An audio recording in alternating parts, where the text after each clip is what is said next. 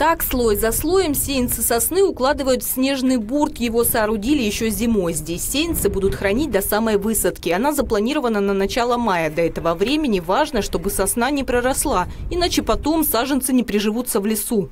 Мы их э, как холодильник получается, то есть они как в холодильнике лежат и как бы засыпают, чтобы сохранить, чтобы оно сосна, чтобы была в спящем режиме даем дополнительный толчок. То есть энергия произрастания вырастает где-то на 10-15%.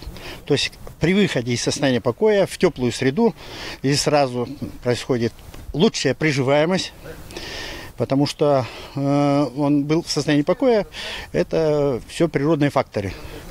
Это питомник растений в селе Станичном Исетского района. Два года назад здесь посеяли 300 тысяч сеянцев сосны. Сейчас они достигли 17 сантиметров. Растения можно смело пересаживать в лес. Этих саженцев хватит на восстановление 100 гектаров леса. Работы проводят в определенную погоду. Чтобы земля не сильно влажная была и не сильно сухая.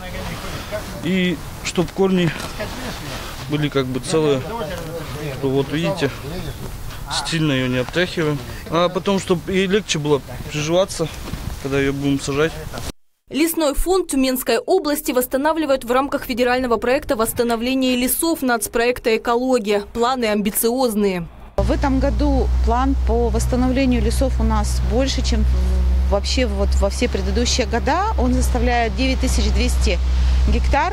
Из них 3000 гектар мы планируем создать путем искусственных насаждений. Для посадки нам требуется свыше 12 миллионов штук сеянцев. Нужное число сеянцев в регионе уже подготовили. Их даже не пришлось покупать, как в прошлые годы. Все вырастили в собственных питомниках и уникальных теплицах. И в ближайшее время пустые территории тюменских лесов заполнят молодые саженцы. Ирина Ищук, Евгений Проскуряков, Тюменская служба новостей.